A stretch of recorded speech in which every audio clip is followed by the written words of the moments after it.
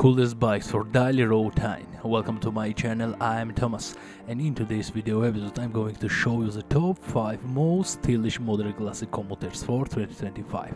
Each of these motorcycles is very practical and perfectly copes with the tasks set for it and I think that by the next year these bikes will not be really be thoroughly updated.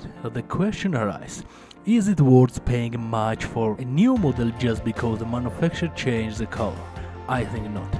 These bikes are not the segment that the public is eagerly waiting for updates.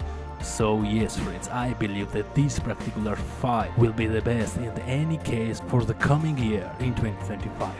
So friends, now you keep going watch the video and don't forget to subscribe to my channel. You know my channel is all about motorcycles and a trusted source for the latest insights into the world of motorcycles.